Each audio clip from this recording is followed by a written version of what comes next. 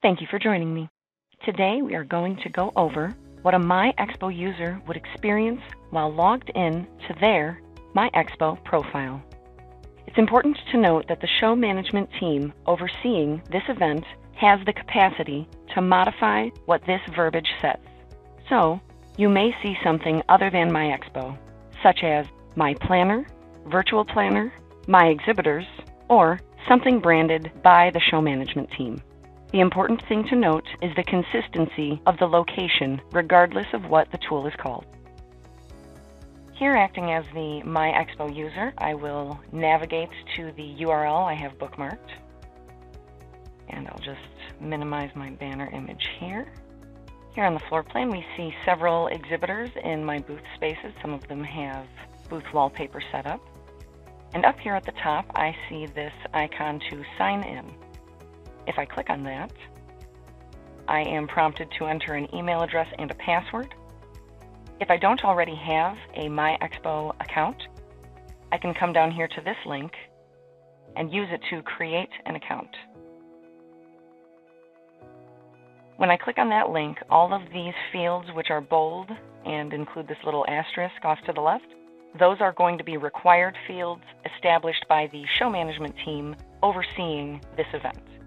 All of the other information is optional for you to fill out. And there is an indication here at the bottom from the show management team letting me know that the information I provide here will be made available to those companies I am adding to my My Expo list. I already have an account, so I'm going to cancel this and sign in to my account.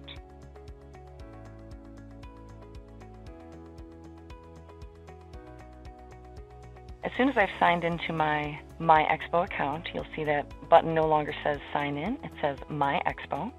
And below that we have stars in the upper left corners of some companies I've already added to my My Expo list.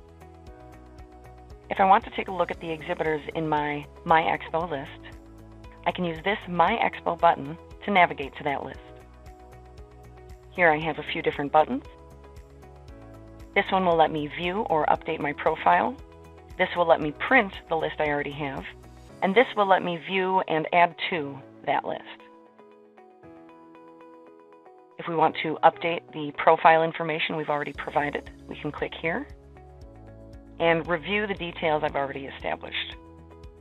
Any changes can be made. Just be sure to update your account before moving on.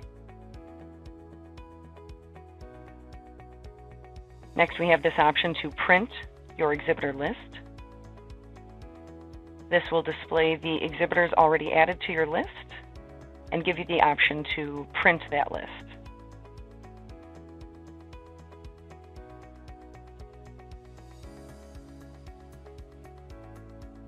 Finally, the last option on here is the My Expo Center. Here we will see a minimized version of the floor plan with indicators over the booths I've already added to my expo.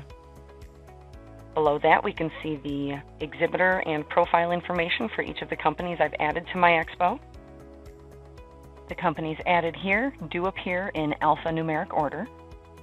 Here at the bottom, we have agenda items, which can be added to your list with this button right here. Simply select the date,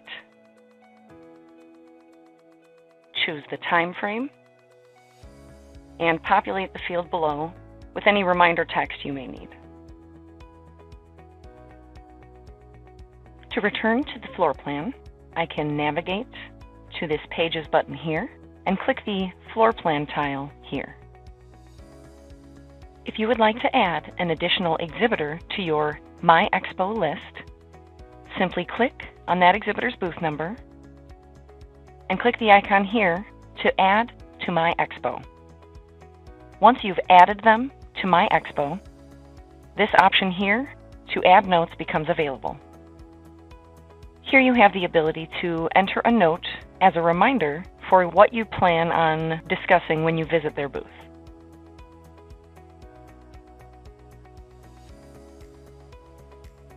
With that new exhibitor added, we can see the star in the upper left corner.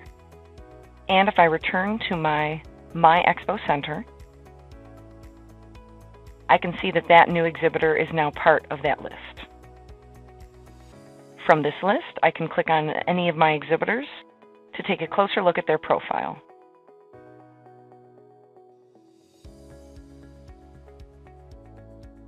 Finally, I always have the option to sign out from that My Expo button. Thank you for joining me, and please don't hesitate to reach out with any questions or issues you may have.